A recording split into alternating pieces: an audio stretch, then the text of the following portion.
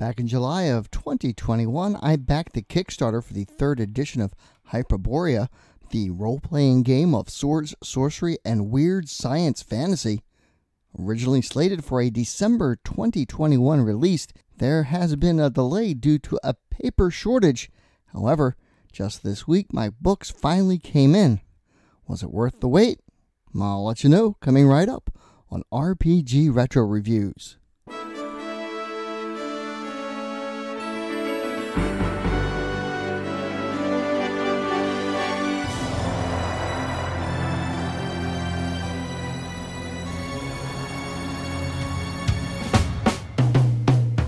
Hello everyone, welcome to my channel RPG Retro Reviews.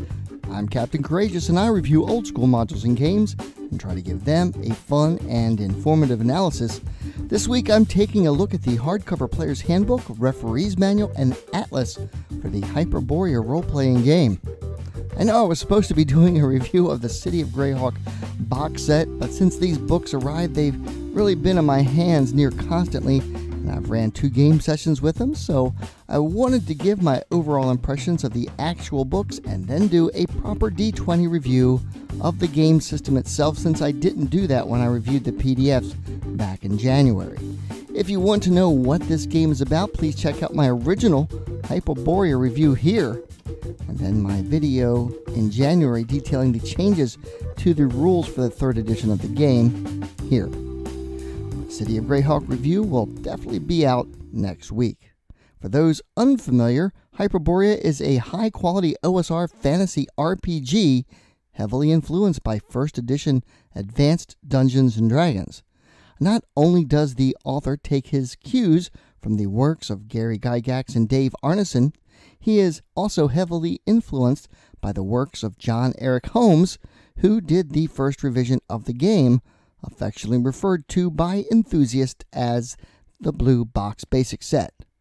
This can be seen in the assigning of a dexterity stat for all the monsters and several of the included monsters as well, such as the Weirshark and the five tier alignment system.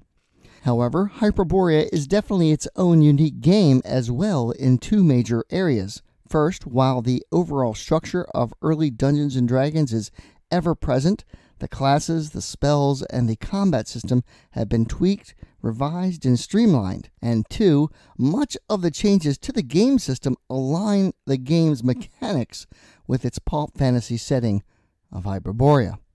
While the common school of thought is that the rules should be should be setting agnostic, Hyperborea eschews that line of thinking with a highly imaginative setting that mingles its pulp fantasy flavor with system dynamics, resulting in a very tasty recipe that is tailor made for enthusiasts of weird science fantasy fiction. If you are a fan of the pulp era, especially the works of Conan author Robert E. Howard, the soul crushing horror of H.P. Lovecraft, and the Hyperborean cycle from Clark Ashton Smith, then this game is for you. The game's author, Jeffrey Talanian, provides a rich and detailed campaign setting that is fleshed out enough to get the imaginative juices flowing, but not with so much detail as to make customizing the setting difficult. Longtime viewers of the channel already know my feelings on this game. I currently have two videos reviewing the system. The first is for the second edition of the game, and the second is a review of the third edition PDFs I did back in January when they were released. At that time, I didn't do a D20 review of the third edition as I didn't have the physical books in hand. Now I do, so let's just get right into it. First of all, the overall feel and weight of these books is spot on. The choices made for paper weight, binding, the page and cover finishes, the ribbon bookmarkers, and the organization all congeal to make an enjoyable reading experience. In my review of the PDFs, I mentioned that a lot of reference work here has been exceptionally streamlined, in some ways taking cues from old school essentials and adding additional bullet points, but also the monster listings have been reorganized and streamlined, and in my opinion, it greatly improves the functionality of the rules as a reference work during play. With game rules such as these that encompass such a large page count, it must fulfill two roles. The first is to explain the rules of the game to the reader, and the second is to serve as a reference work, especially during play, ideally making the task of resolving rules questions quick, easy, and decisive. Here's the listing for the Owlbear in the 2E version versus the third edition. And as you can see, the traditional text dense version has been exchanged for more condensed line listing style like you would find in modules. At first, I was not particularly happy with this change, but after actually using it in play and cut and pasting stats from the PDF to my own notes, I found this preferable and a lot more functional. Spell resistance has been greatly streamlined as well. Previously, you would look at the listing for the monster, and that would be the roll needed or less on a d20 to resist a spell from a 12th level caster for each level less than 12 of the sorcerer casting the spell, the chances of success decreased by 1. Now that's no longer the case. The name of the ability has been changed to Sorcery Resistance, and the number listed is just the number needed to resist the magic straight up. No further calculations are needed. Now, I ordered the regular hardback versions rather than the leatherettes. I prefer the artwork covers, and they do look great. The colors are rich and outstanding, and I love the matte finish, not glossy, which feels great in your hand. These have cloth binding and sewn in ribbon bookmark, which is also super, super handy.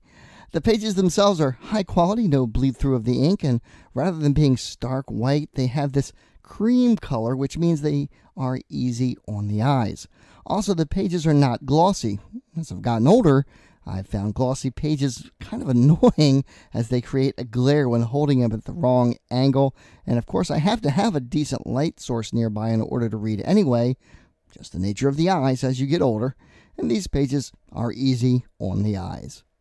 Now let's take a look at the atlas. The new format for the Hyperborea map is a major improvement and standout. The PDF doesn't do it justice. I've had the pleasure of using this in play, and its utility is undeniable. The one thing I disliked about the poster map was that it was huge and just impractical to use at the table. Furthermore, if you were reading an entry in the gazetteer portion of the rules, it might be a bit of a challenge to pinpoint its location on the map. This atlas format has an index in the back, so all you need to do is find its entry and go to that page. So much easier. Obviously, this looks great as well. The decision to split the rules into two volumes is a good one. The 2E, the second edition 600 page behemoth, was a bit of a beast at the gaming table, and also it wouldn't take long to feel a bit heavy on your lap when reading it when not playing.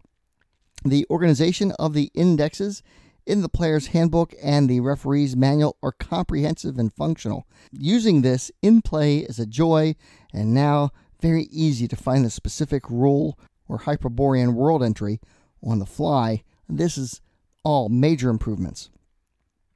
So, with all that said, let's go ahead and take a look at the third edition of Hyperborea, the game of sword, sorcery, and weird science fantasy on my D20 scale of style, presentation, and value. In my previous review of this game, I was enthralled with the quality of the artwork, and this new edition somehow managed to step up its game with even more of the weird, strange, and evocative imagery that permeates the setting of Hyperborea. I previously rated this a natural 20, and that still stands. Critical hit, once again, if not more so. For presentation, Talanian's organizational skills are on full display. As I previously said, Jeffrey Talanian has his own style of prose that is enjoyable to read and still descriptive and easy to understand. Bullet pointed sections of the rules were already a highlight, very similar to old school essentials, but retaining the descriptive text sections as well. These rules managed to walk the knife's edge between enjoyable prose and rules functionality brilliantly. Quite a few rules have been streamlined or additional text added for clarity, so more of a good thing to be sure. My only real problem with the previous edition here was that there was a 600 page rulebook without an index, which was a high crime, in my opinion, to be sure. Not only has Talanian added an index, he's added several, and the indexes he's added are phenomenal. Every major topic is covered, and then some. Combined with the index from the Atlas and the Player's Handbook, the utility of these books as a reference work is greatly enhanced. Major improvements, and that rates a natural 20 as well for me. Thanks, Jeff. Finally, let's talk value. These books are absolutely gorgeous. The setting of Hyperborea is brilliant, and the old school rules of D&D combined with Jeffrey Talanian's tweaks makes for a game that plays fast, hits the right notes on death and danger, and pulp feel. This is a game setting designed for the long form campaign, and as such, what's in these two volumes, along with the Atlas, offers years of gameplay. There is a bundle sale going on right now over at Northwind Adventures where you can get the player's handbook, the referee's manual, and the atlas all for $100. The leatherette set is $135. Note this is a back order entry as uh, all the Kickstarter have not been fulfilled yet. And of course, orders now will be fulfilled after the Kickstarter. That said, the entry level of the game is still a bit pricey. So, as before, I will rate this a 19, and that brings the overall rating for the Hyperborea RPG to a 19. Amazing, or as I like to say, astonishing. Thank you all so much for watching. I hope you found this review useful and enjoyable. I'd like to take the time to thank all my patrons who make this channel what it is and these videos possible. Thank you so much. Next week, I'll definitely be getting to the City of Greyhawk box set. After that, the new Hero Quest supplement, the Frozen Horror Quest Pack, has been released, and I will definitely be taking a look at that. Please give this video a like, comment, and share. Please check out my Teespring store for great gaming swag, t-shirts, carry bags, coffee cups, and more. Join the channel's Facebook page, RPG Retro Reviews. Consider supporting the channel by becoming a patron yourself, or alternatively, you can just send a tip through the PayPal tip jar.